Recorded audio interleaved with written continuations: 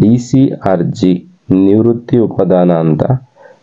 ಇದರ, ಇದನ್ನ ಯಾವ ರೀತಿ ಲೆಕ್ಕಾಚಾರ ಮಾಡ್ತಕ್ಕಂಥದ್ದು ಅಂದರೆ ಈಗಾಗಲೇ ಕೊನೆಯ ತಿಂಗಳ ಮೂಲ ವೇತನವನ್ನು ತೆಗೆದುಕೋಬೇಕು.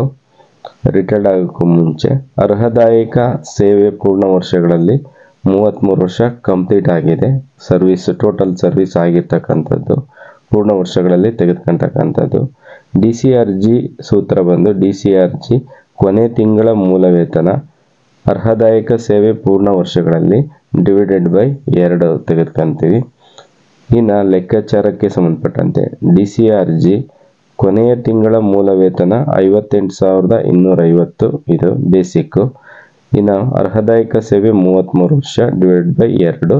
ಇದನ್ನು ಇವೆರಡನ್ನು ಗುಣಿಸಿ, ಇದರಿಂದ ಎರಡರಿಂದ ಬಾಗಿಸಿದ್ರೆ ಒಂಬತ್ತು ಲಕ್ಷದ ಅರವತ್ತೊಂದು ಸಾವಿರದ ನೂರ ಇಪ್ಪತ್ತೈದು ಹಣ. ಸಿಗ್ತಕ್ಕಂಥದ್ದು ಸರ್ಕಾರಿ ನೌಕರಿಗೆ ಡಿ ಸಿ ಆರ್ ಜಿ ಹಣ.